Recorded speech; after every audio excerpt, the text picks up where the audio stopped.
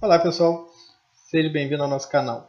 Nesse vídeo eu vou apresentar para vocês o aplicativo Refrigerante Slider né, da Danfoss.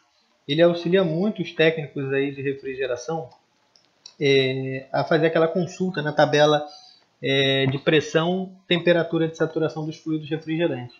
Ele tem aqui basicamente todos os fluidos é, refrigerantes, todos os fluidos ele tem basicamente todos os fluidos refrigerantes, tá? Basta clicar aqui, buscar aqui o fluido que você quiser verificar, tá? Vamos localizar aqui um o R410, por exemplo.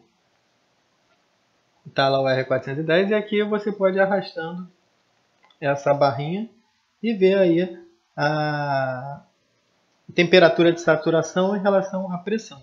Se quiser, você pode também é, clicar aqui né, e digitar. Ah, eu quero saber a pressão. A 100 PSI, qual é a temperatura de saturação? Ele vai te dar lá, 0,05. Quero ver pela é,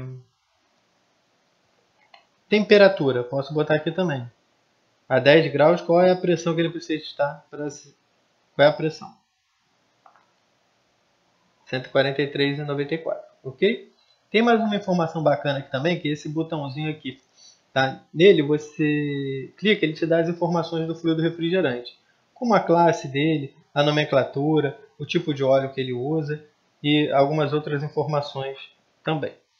Tá? O, outra coisa também, você pode mudar aqui também temperatura, unidade de medida, se é graus Fahrenheit ou graus Celsius, e pode mudar também a pressão, PSI, ATM, é, AT, tem vários tipos de pressões aí que você pode configurar.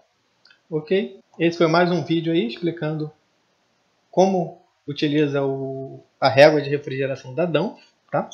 Se você gostou, entre no nosso canal youtube.com.br curso Serai e clique no, no botãozinho lá inscrever-se. Ok? E clicando no botão inscrever, clique aqui no sininho também para você receber as notificações direto aí no seu smartphone ou no seu computador. Ok? Um abraço, até o próximo vídeo.